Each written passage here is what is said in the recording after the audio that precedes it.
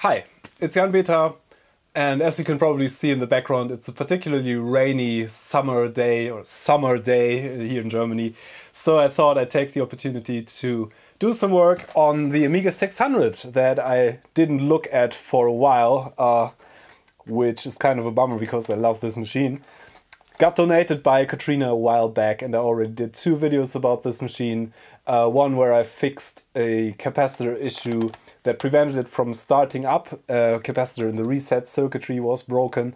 And then I did a second one which is like a walkthrough of um, replacing all the electrolytic capacitors in this one because these have the uh, early to mid 90s variant of electrolytic surface mount capacitors that are very prone to leakage and failure and uh, yeah they basically destroy by leaking on the circuit board they basically eat away the circuit board slowly so if you have one of these uh, highly recommend getting it recapped or recapping it yourself. You can watch my video. It's not that hard to do if you have the right tools and a lot of patience, basically. So uh, do that. Sooner or later, you're going to regret not doing it, even if the machine works and seems to be fine. If it works, it's not, it's not a sign that everything's all right with the machine, basically.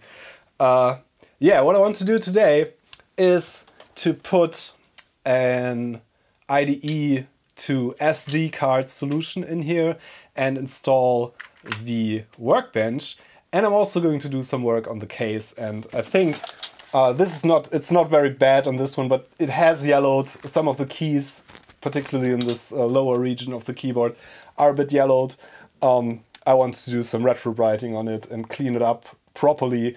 And I think I also need to repair the case a bit because some of the hinges, this has hinges on the sides and along the perimeter basically that are very easy to break off, which I think happened on some of the hinges, if I remember correctly. I didn't look into this uh, for quite a while, so I don't really remember it. But I need to clean up the case and do some retrobrighting on this, so that's the plan for today. And yeah, we're going to see what else I encounter. Usually if you get into something like this, uh, you encounter more problems on the way. so let's just go. Let me take some seconds to thank my sponsor for this video, PCBWay, who are a manufacturer of prototype PCBs and larger projects. And they have their sixth anniversary coming up. So there are going to be some festivities going on on the website and larger coupons and such are waiting for the anniversary. So I recommend checking them out. So the very first step obviously is to open this up again and uh, take a look. This is actually quite a weird construction. Not particularly a fan of the Amiga 600 case. It has all kinds of hinges on the sides that you have to loosen. I'm just using my fingernails here.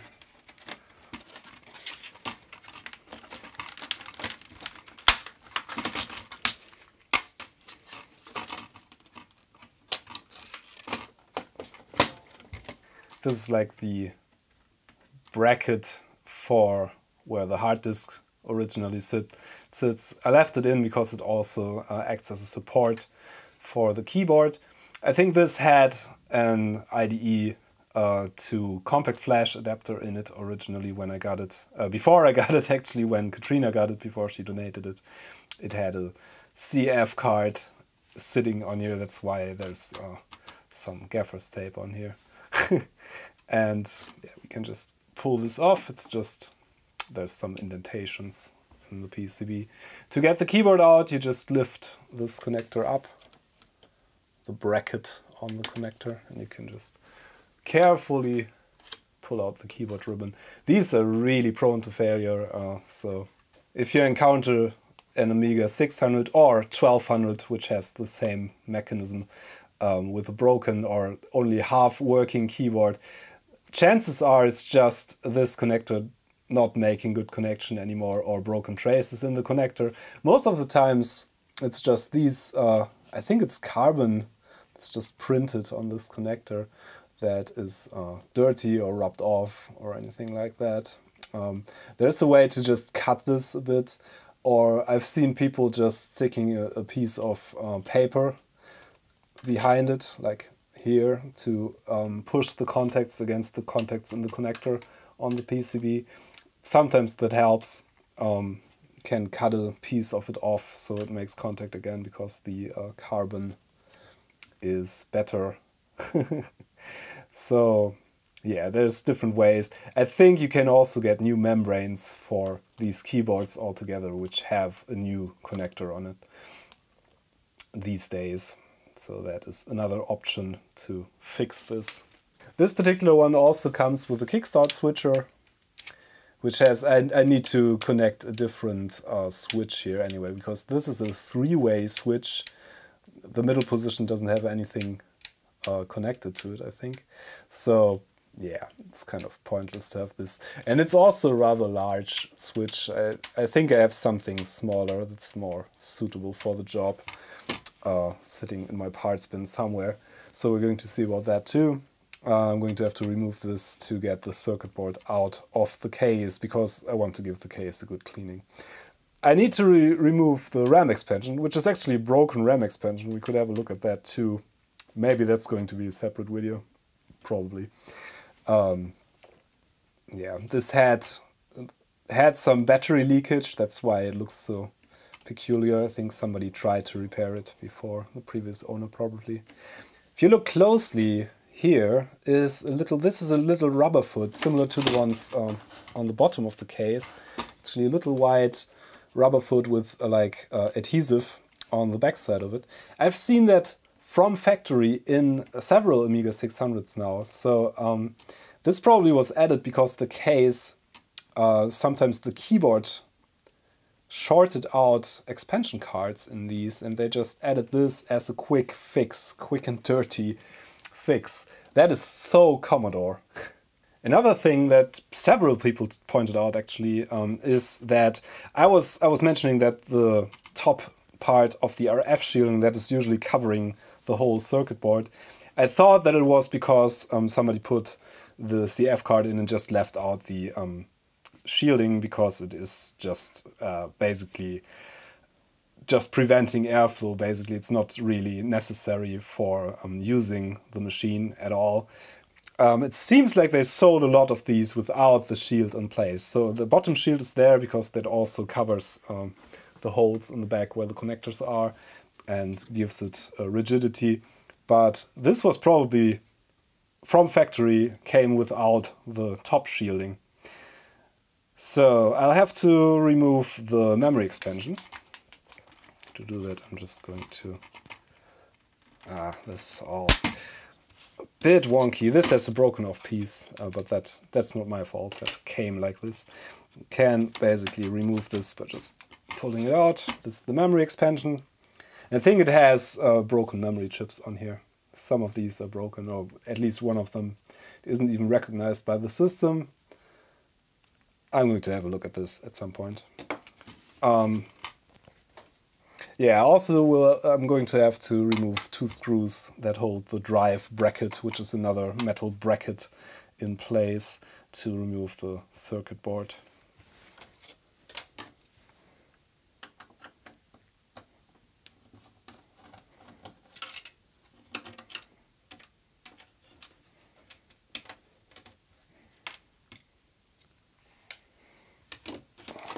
drive should come out now.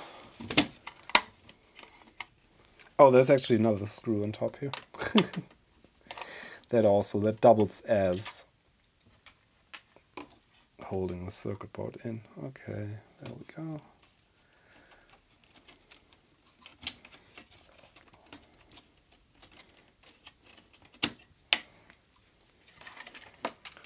Thankfully, I think we don't have to take the metal uh, shield off of this. We just have to remove this screw. I think that should be it. Is it loose now? Yeah, it is. And we have to, of course, we have to remove, in this case, we have to remove the switch from the side here.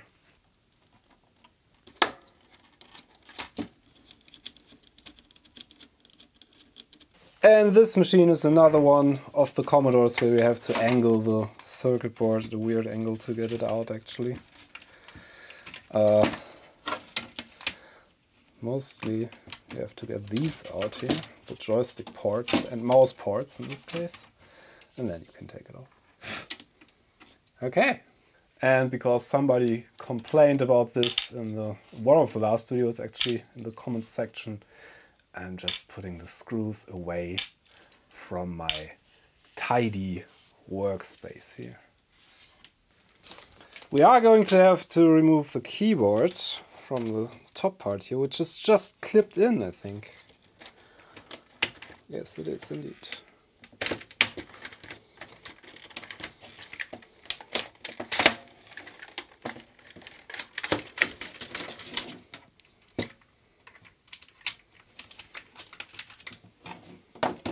There we go. Nice little keyboard. And we're also going to have to remove this little LED assembly.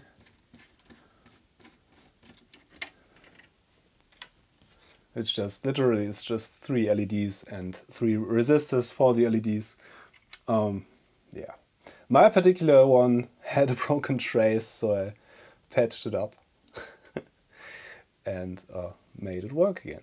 So now that I have freed the case parts from all the electronic components, um, you can see that these are slightly yellowed. Actually, the, the top part at least is slightly yellowed. This is the original color actually. So you can see the original color of the case here on the badge.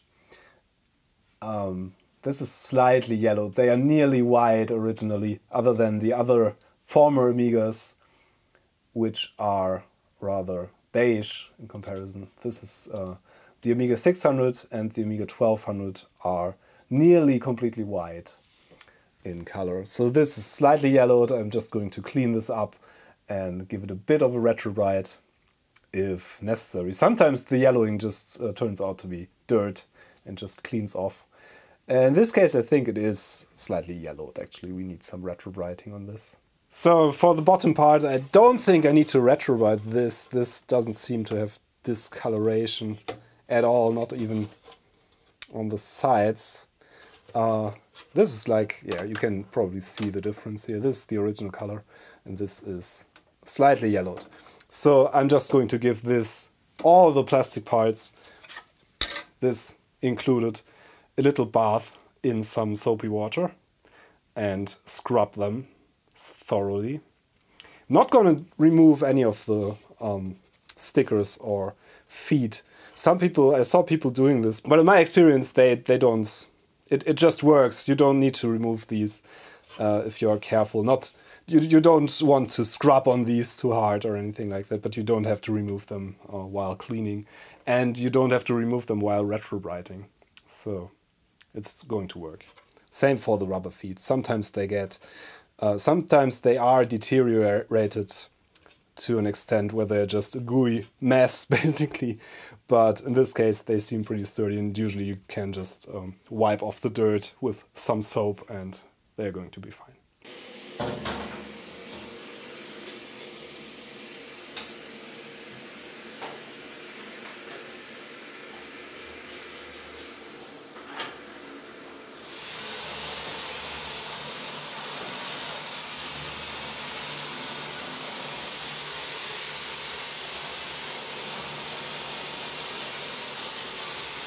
I'm also going to remove all the keycaps because I need to clean those too. Always a good idea to clean stuff before retro retrobrighting. And I'm going to use my trusty keycap puller for that job, which is just uh, kind of a wire contraption. Uh, you can probably build something like this yourself. Just grabs the keys and pulls on two sides of it evenly which makes things so much easier. And I'm just going to use two containers, one for the actual keycaps and the other one for the springs that you find underneath the keys. There's also some metal brackets for the large keys. I think on this one it's uh, on the spacebar and on the enter key actually, or the return key rather.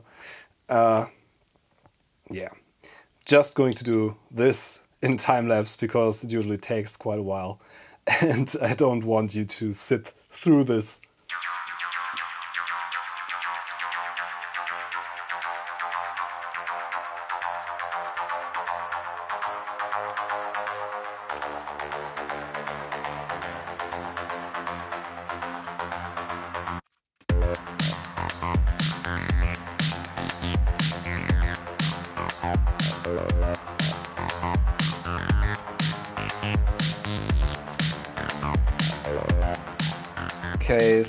Special thing about the spacebar, it has, for one, it has one of these uh, little bracket things. It's a metal bracket thing that is just clipped in into the spacebar here and also clips in in some hinges on the keyboard assembly.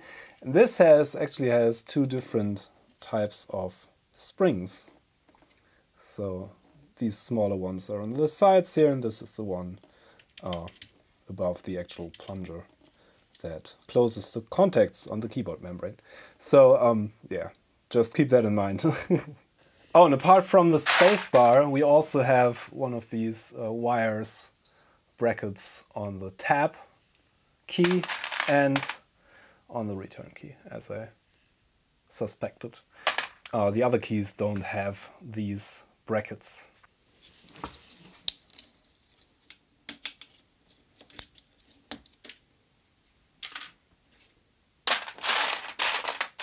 So this keyboard assembly is not not that dirty. I'm just going to give it a quick wipe.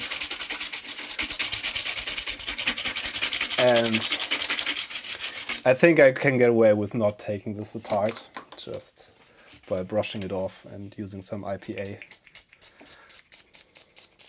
You don't want to use any uh, thing that doesn't evaporate completely because you might damage the keyboard membrane underneath and uh, destroy the contacts because they are just printed on there. It's basically just uh, carbon printed on the circuit board or on the membrane in this case. It's just it's a really flimsy construction. So if you get any any solvent in there that destroys the carbon contacts, you're going to regret it basically.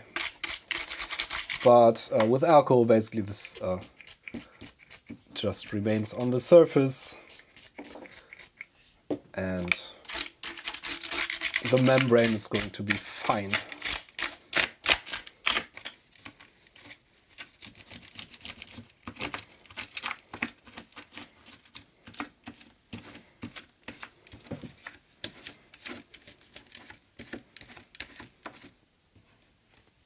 This cleaned up rather nicely. So we're not going to have to take this apart, which is good because there's a lot of screws. so wise man that I am, I already put this into a container that I can just pour some soapy water in and soak these keys. And for the springs and the other metal parts, I'm not going to do anything because these are not rusted or anything. I've seen people using WD-40 on these. Um, I've done that before. In this case, they look like factory fresh, apart from some dust. But I'm not too worried about that, so I'm just going to leave them as is. These go into soapy water.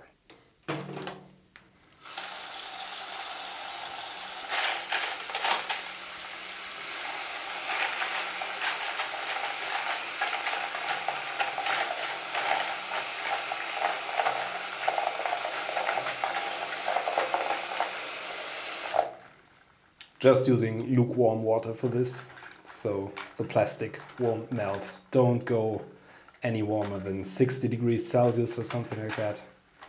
Um, and just this like hand warm water usually does the job fine. So I'm just going to let the case parts soak for an hour or something and then I'm going to brush them and uh, yeah, clean them.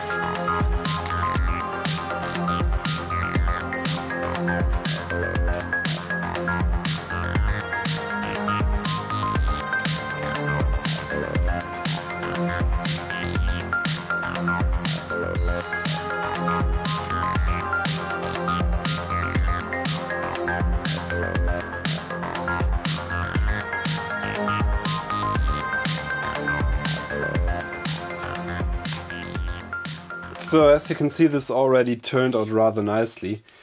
There's a couple of um, little black, I don't know, scuff marks that I'm going to address uh, with a magic eraser kind of thing, which is the mild abrasive thing. Uh, but otherwise it looks good. It needs some slight retro brighting. The bottom part also has some scratches and some black marks on here, which I don't really mind that much. It's a bit scratched around the little um, trapdoor thing here. Uh, but it's the underside of the machine, so uh, the color is pretty much original, so I'm not going to do any retro brighting on this.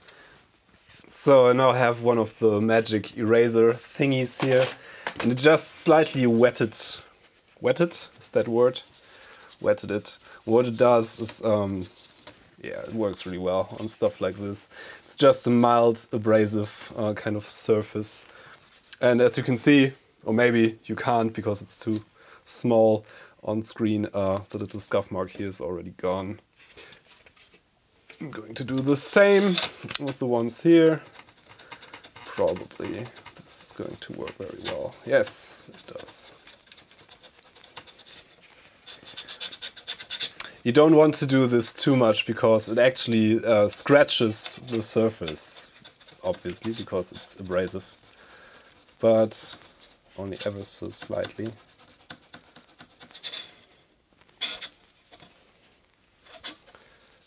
So that's usually the last thing I do concerning cleaning these cases. This works really well, so let's do the bottom part too. and it's just a bit of water, so you can see, you probably see there's a like a red or orange mark and a black one. Let's see if we can get rid of those. So the red one's already nearly gone.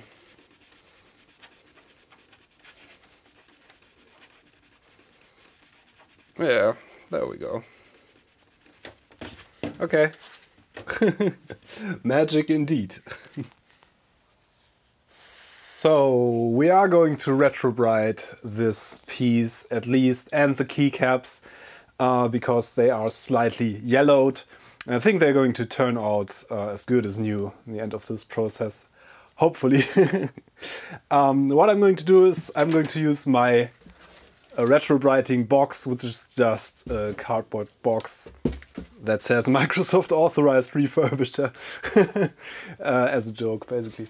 Um, and it has some aluminum or aluminium foil inside to reflect the light uh, that is used for retro retrobriting, which in my case comes from this uh, 300 watt LED grow light, which is like a plant light. This particular one is no longer available. Uh, I think it has like uh, blue and pink LEDs in it, basically. It's supposedly full spectrum light. Uh, it produces quite a lot of heat, which probably helps with the retrobriting process. Uh, we are going to use a cream peroxide for retrobriting. This is liquid stuff. And this is the cream stuff that I use. I've used this, this is the first thing basically that I found uh, when I was looking for cream peroxide. This is stuff that is usually used for uh, bleaching hair.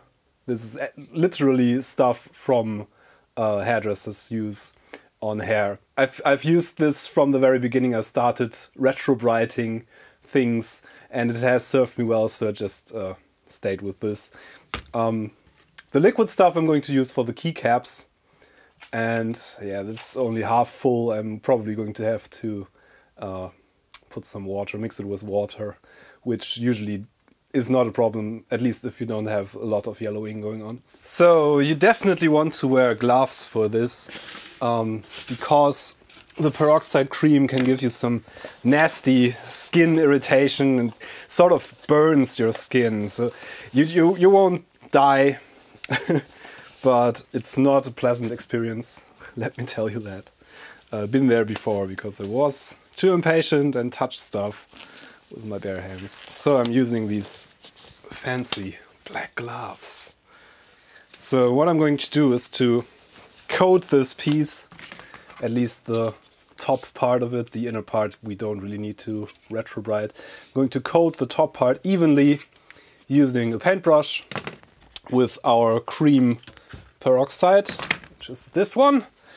Yeah.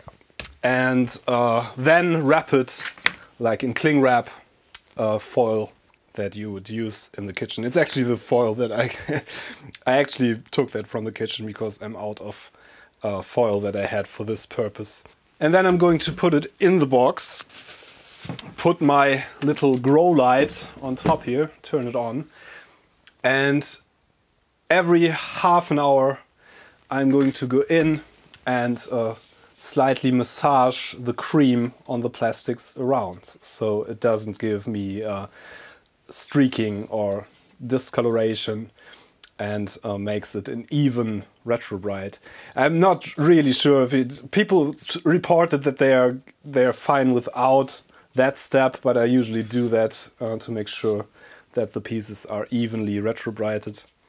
So, yeah, that's how I do it. I'm just going to stop talking and actually do it.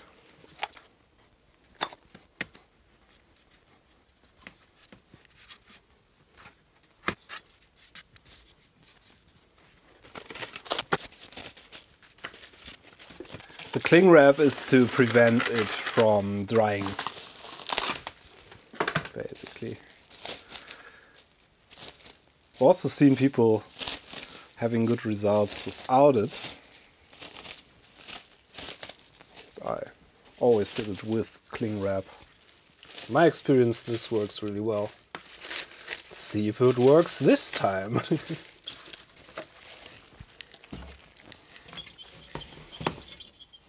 For the keycaps I'm just going to use the liquid stuff and just uh, pour it in here basically. Which of course you want to make sure to not get anything in your eyes or anything like that. I'm just going to follow this up with some water I think.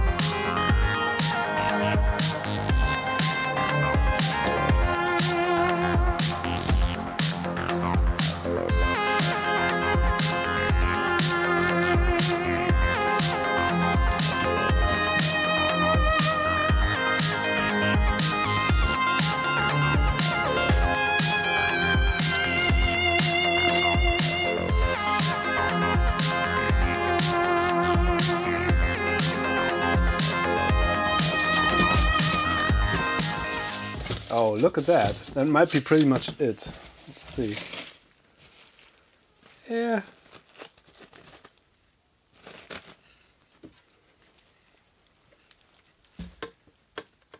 Yeah, I think that's it. That's pretty much de-yellowed.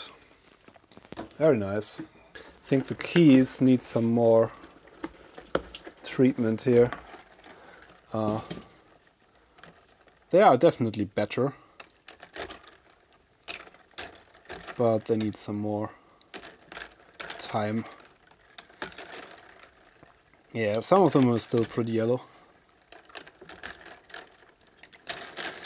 I'm going to put these into uh, my special key container.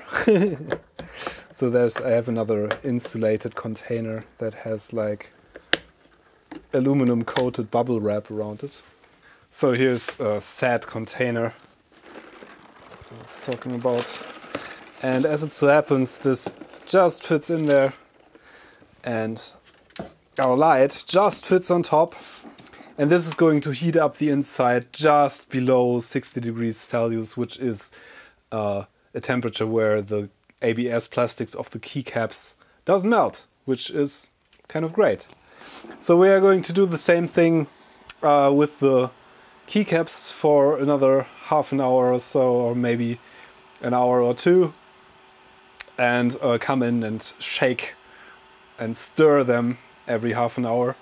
And we're going to wash the uh, top part of the case because that's done. That's back to nearly white.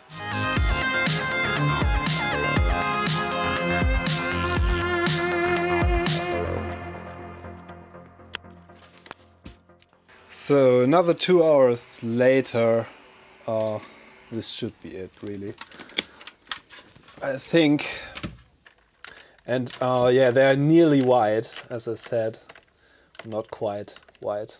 Obviously, it's it's like an off-white, but much brighter than the old Amigas.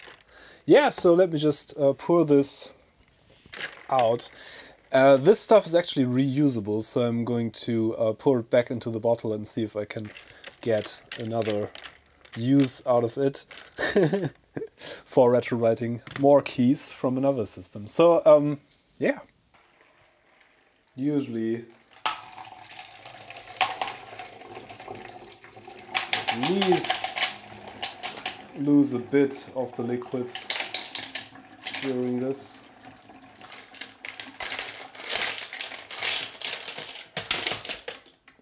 But hey, this wasn't too bad, actually.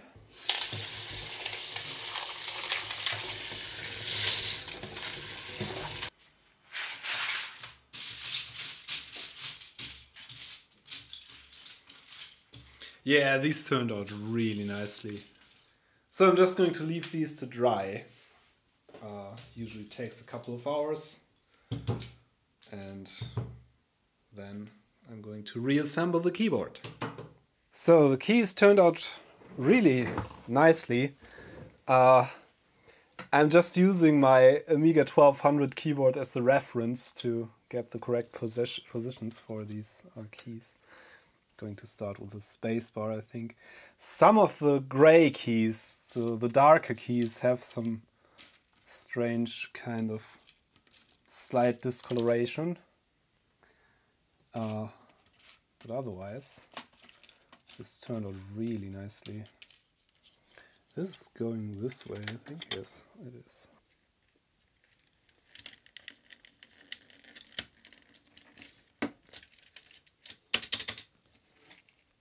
Here's a close-up of the strange discoloration issue I have.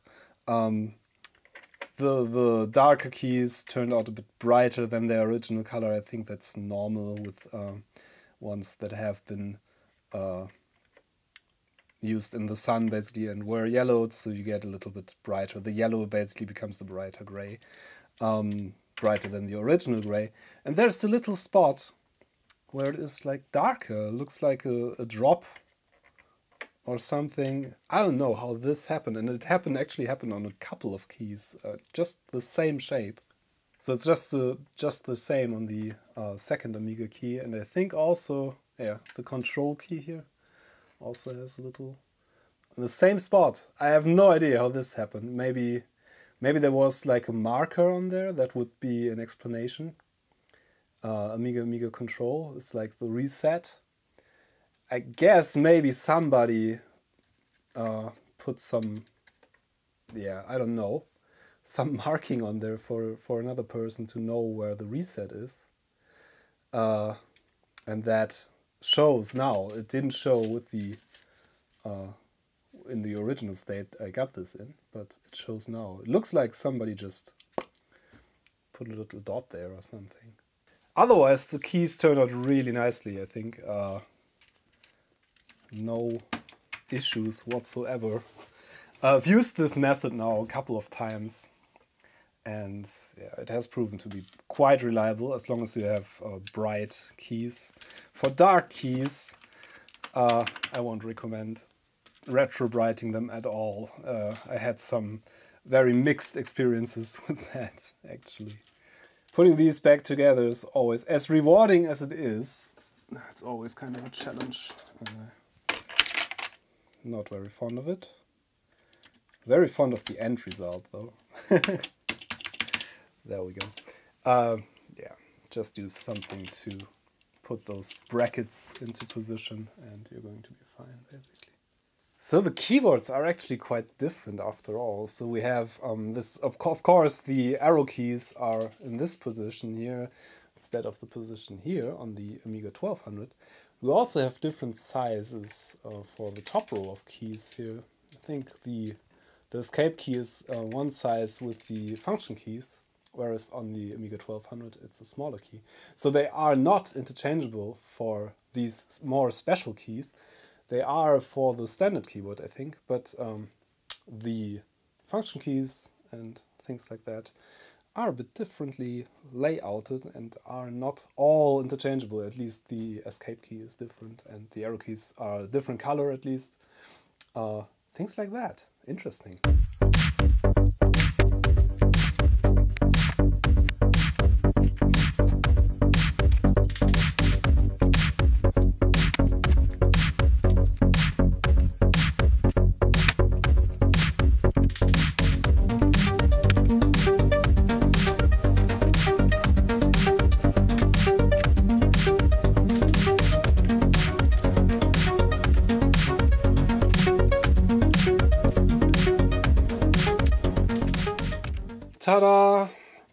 One peculiar thing is that there's the uh, like the backspace and the delete key just being next to each other.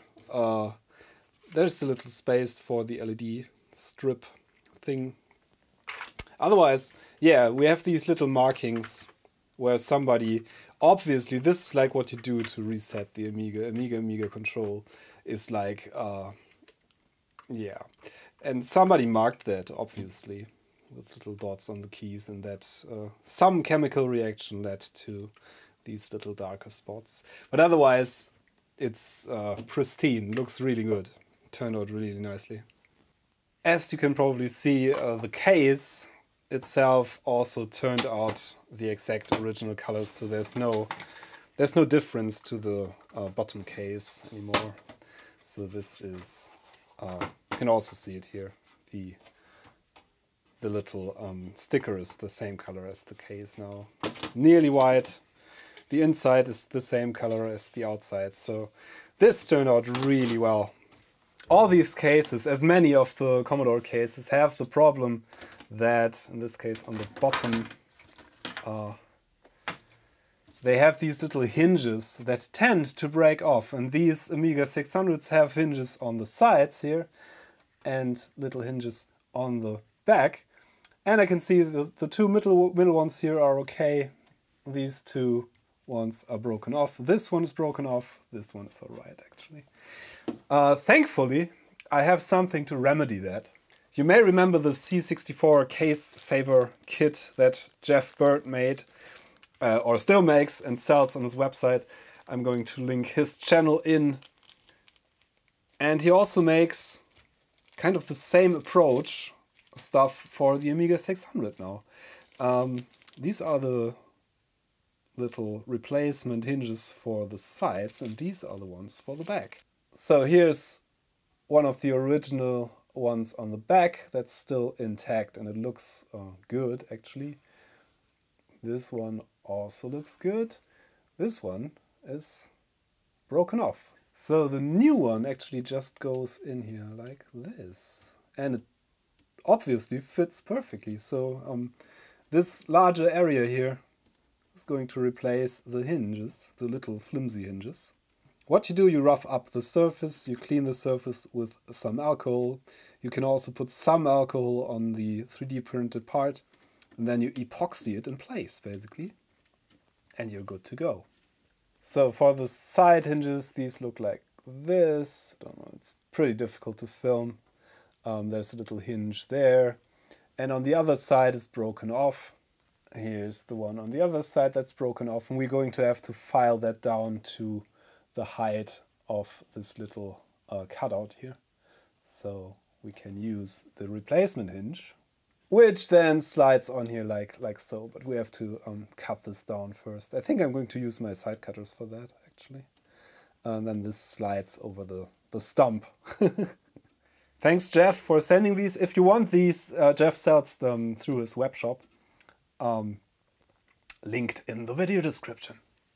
and also, Jeff makes beautiful YouTube videos about retro computers too, so uh, check out his channel as well. Kind of feels wrong, but you gotta do what you gotta do.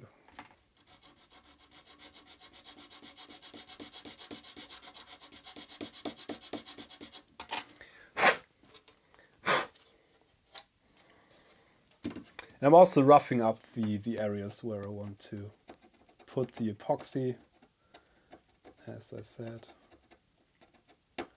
So the epoxy has something to stick to. It's always a good idea to just uh, can put some scratches in there, file, roughen up the surface a bit.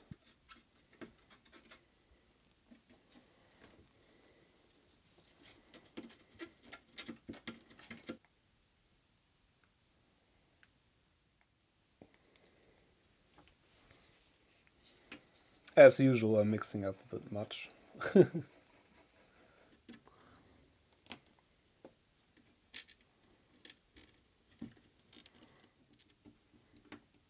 don't need much of this stuff because this holds really well. Okay, I'm just going to let this settle for a bit and these yeah these should stay into position without any issues. Uh, the one on the side I just clamped down a bit so it is going to uh, set in the correct orientation and or correct position there. So yeah that's basically the Amiga 600 case saver kit. Okay this should be fully dry now. Yeah and it yes it is completely dry. Like I said, this is like five minutes uh, curing epoxy for model making and things like that. Um, see.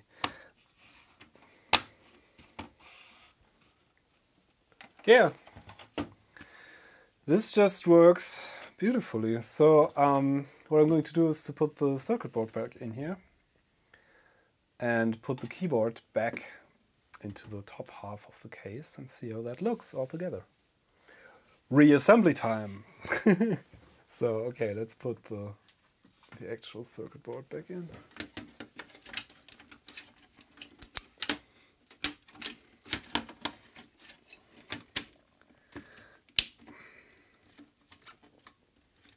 So I looked for a better switch for this and I don't really have a better one, so this is going to have to do for now which is kind of a shame, but yeah, I'm going to go in there at a later point and replace it with something more proper. Not really fond of this uh, Kickstart switcher mod, but I'm going to leave it in for now and I'm going to find a better switch. This is like a center position that basically switches off all the ROMs, which doesn't make sense because it doesn't, the machine won't start up without a Kickstart ROM. Uh, yeah. so that's kind of useless. It works in the uh, front and back positions, so that's good. Oh, look at that. There might actually be a problem with this disk drive and the case savers. Hmm. So the problem is that this case saver part is protruding too much in this direction, so we have to cut down. Yeah, this is not going to work because the case saver... So this disk drive should pretty much be sitting where the uh, original thing is and down. So it can't go down because of the case saver there. That's kind of a bummer. We need to cut this whole part here.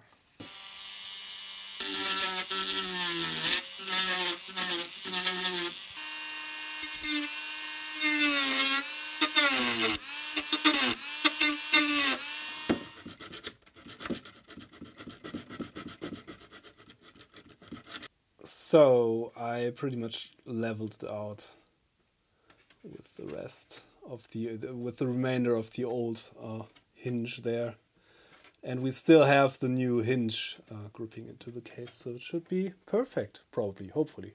Okay, trying with this drive. Yes. Now it fits. Okay. So this time for real, I'm going to assemble this. Hopefully.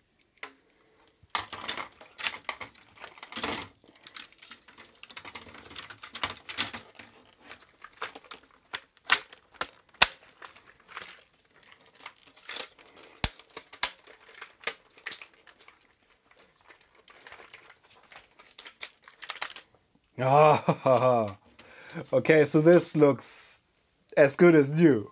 This is really cool. Yeah, I'm always kind of overwhelmed by how well retrobrighting works, if it works right, which it mostly does for me after doing it a couple of times. Um, yeah, this just looks like uh, it came right out of the box. This looks really mint. And retrobrighting, there's the thing is, it is going to start yellowing again after some time.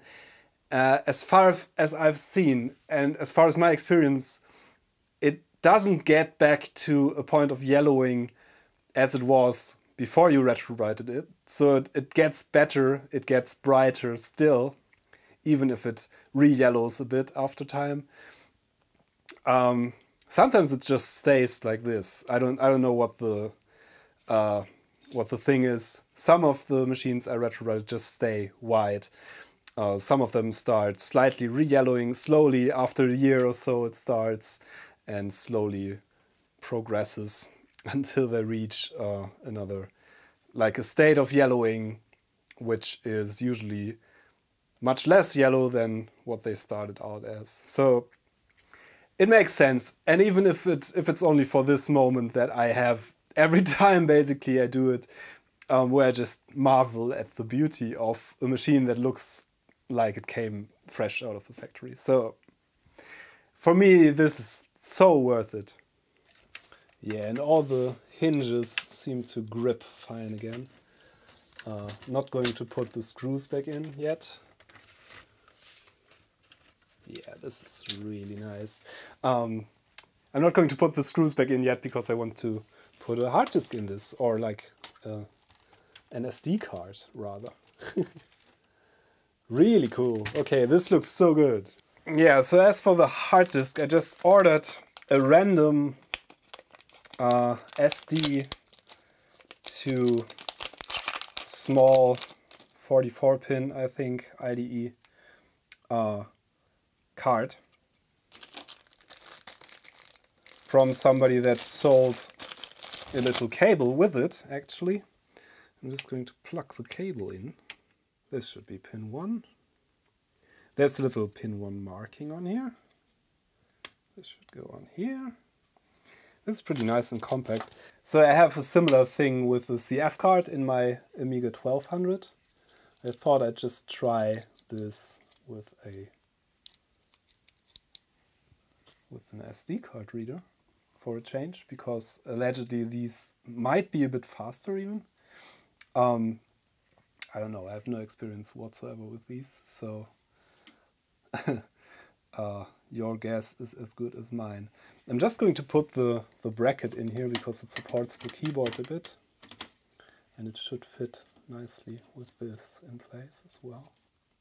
I'm just going to, to have it like this, I guess, because uh, I don't have an accelerator yet. I'm just going to put some more gaffer's tape on here uh, to have some installation.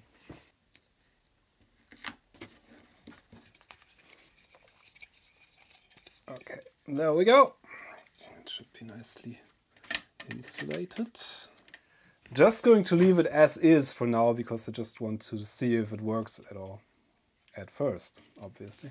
uh, I actually have to make some Workbench 3.1 disks from extras, from uh, ADF files I have on the hard disk, uh, because I don't have it on disk. I didn't install it from disk yet. But fortunately, I have some empty uh, three and a half inch double density discs that I can use for this purpose. And I also made a whole video about um, transferring files and disk files from Amigas to disks and back and forth uh, recently. I'm going to link that in the corner there if you are interested. So the good news is I managed to make some installation disks for Workbench 3.1 and the Amiga 600 still works actually, which is nice. uh, put it into 3.1 ROM mode and now I'm booting the install disk for Workbench 3.1. The hard disk LED is on all the time, so I don't know if that's uh, supposed to be the case. I don't think so. Probably there's something wrong with our adapter or our cable. But yeah, we're going to see. Let's see if the hard disk shows up in our HD toolbox. Which it probably won't. Something's wrong there. Oh, there we go. So this is actually reading high-speed SD. I have to support. I have to um, make a new definition for the drive type. It seems. Oh, I have to unprotect the disk because it is saving some stuff to the disk. It seems. There we go, now we have a new drive type. Sure you want to change the drive type for the current drive? Yes. I do. So now we should be able to partition the drive correctly, I guess. Two partitions with 120 meg. I just want one. Yeah, now it shows 240 meg. That's cool.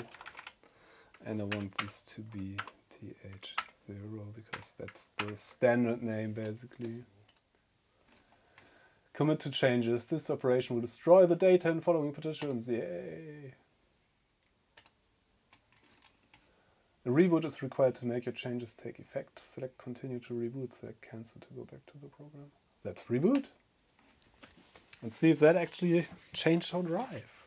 So here's the thing, this uh, actually lights up permanently, which isn't nice, but other than that, this seems to work actually. Hmm, it does work, so my hard disk just shows up. I probably can format this now. Uh, format disk. Should be SD Amiga SD.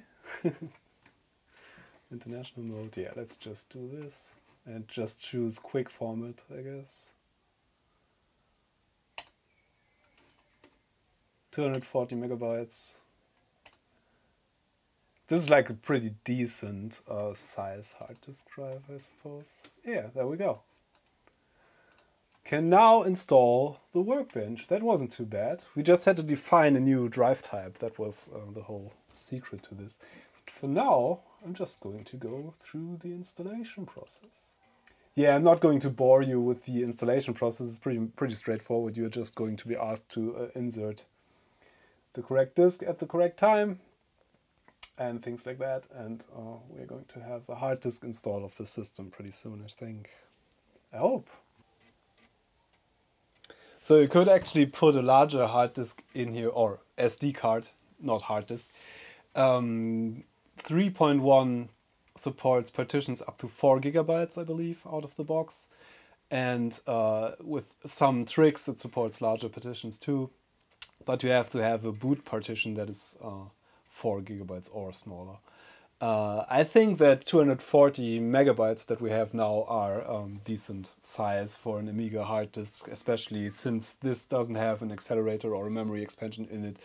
It's just basically uh, going to be used for now as a stock Amiga system uh, with the 3.1 system on there and uh, switchable to uh, 1.3 for downwards, backwards compatibility, so I can play older games on this too, which is pretty nice.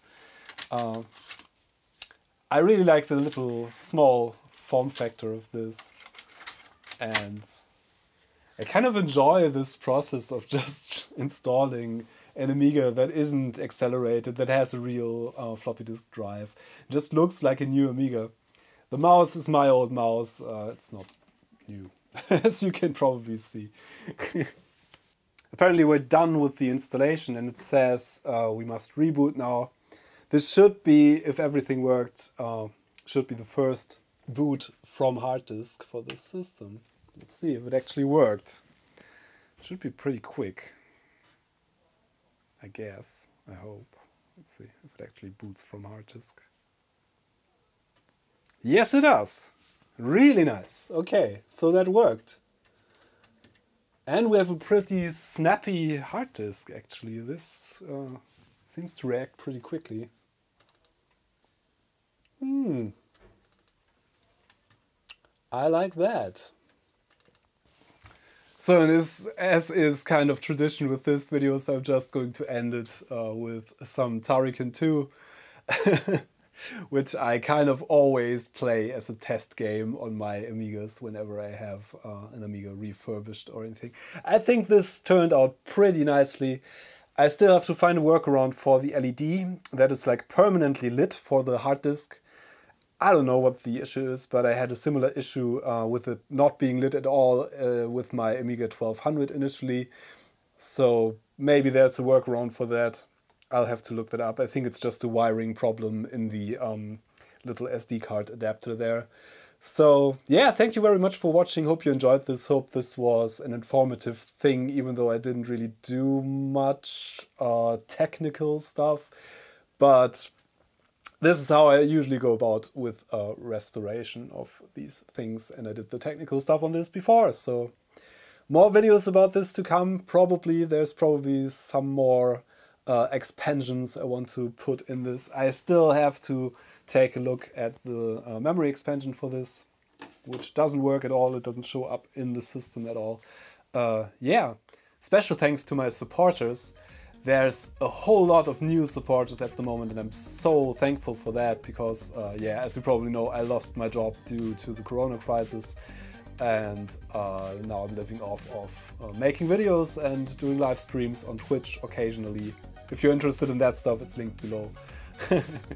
I uh, usually stream from the hardware I repaired on this channel uh, mostly once a week and yeah Thank you so much for watching. Thanks for your support. If you like this, please consider subscribing to this channel or even becoming a supporter. And yeah, thank you very much. See you all soon. I'm Jan Beta. Thanks for watching. See you next time. Bye. I don't even have a joystick connected. How am I supposed to play this game? ah.